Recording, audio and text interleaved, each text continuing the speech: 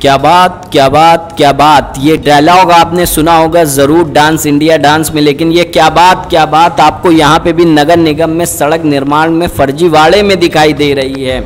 इंदिरा नगर के पानी गाँव में प्राइमरी स्कूल के पास सड़क व नाली निर्माण होना है। टेंडर भी वर्ष 2016 में स्वीकृत हो चुका था। अवस्थापना निधि से होने वाले इस कार्य के लिए 23 लाख रुपए के बजट की मंजूरी भी सरकार ने दे रखी है।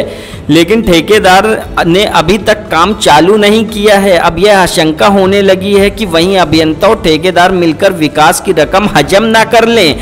यही किसी एक सड़क का मामला नहीं है। नगर निगम में ऐसी कई सड़कों, नाली और नालों के निर्माण में फर्जीवाड़ा सामने आया है। फर्जी भुगतान की आशंका को देखते हुए नगर आयुक्त तो डॉक्टर इंद्रमणि ने जाँच के आदेश दिए हैं। विकास के ऐसे कार्यों को चिन्हित किया जा रहा है। जिनका ठेका तो मंजूर हो गया था, लेकिन ठेकेदार ने साल भर से काम चालू नहीं किया।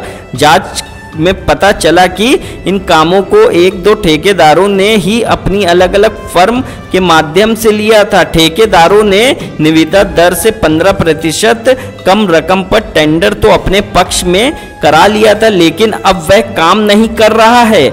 नियम अनुसार निविदा स्वीकृत होने के दो माह में निर्माण कार्य पूरा हो जाना चाहिए था, लेकिन अभियंता ठेकेदार पर कोई कार्रवाई करने के बजाय उसे समय का विस्तार दे रहे हैं।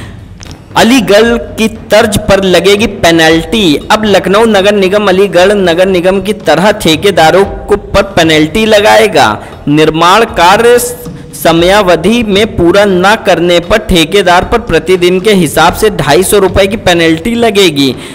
नगर आयुक्त डॉक्टर इंद्रमणि त्रिपाठी ने बताया कि अलीगढ़ में समय पर निर्माण कार्य न करने वाले ठेकेदारों पर प्रतिदिन ढाई सौ रुपये की पेनल्टी लगती है। वहाँ से यह प्रस्ताव मंगाया गया है और नगर निगम में उसे लागू कराया जाएगा। ऐसे करा लेते हैं भुगतान। ठेकेदार से 30-35 प्रतिशत का कमीशन बांट कर आसानी से भुगतान करा लेते हैं। दरअसल अवर अभियंता की रिपोर्ट से ही भुगतान की संतुष्टि हो, होने लगती है और ऊपर के अधिकारी मौका मुआयना तक नहीं करते हैं और मुट्ठी गर्म कर भुगतान की तरफ़ फ़ाइल बढ़ा देते हैं।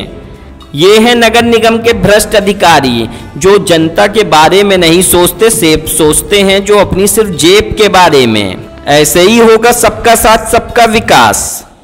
ये बिल्कुल फ्री है।